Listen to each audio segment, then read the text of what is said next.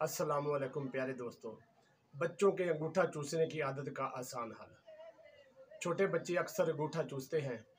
इस आदत को छुड़ाने का बेहतरीन हल बताता हूँ। आपने अंगूठे पर बहुत सी चीज़ें लगाई होंगी। बच्चे के अंगूठे के ऊपर बाल बांधें।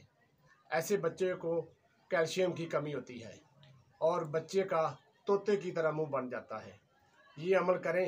इन बच्चे अंगूठे चूसना बंद कर देंगे। आप हमारे चैनल को सब्सक्राइब करें, लाइक करें, शेयर करें और बेल का बटन दबाएँ ताकि हर आने वाली वीडियो आप तक पहुँच जाए। शुक्रिया।